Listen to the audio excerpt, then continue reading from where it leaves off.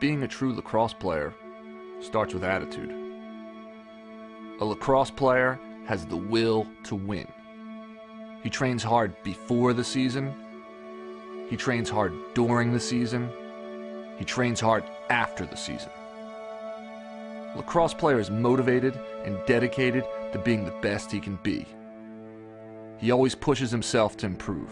He goes beyond the minimum. A lacrosse player steps up to challenges. If knocked down, he gets up. He never quits. First or fourth quarter, first or fifth line, he gives 110%. A lacrosse player learns from his mistakes.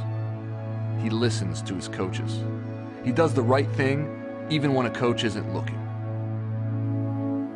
A lacrosse player inspires his teammates and brings honor to his team. Lacrosse player doesn't make excuses, he makes goals. That's a lacrosse player.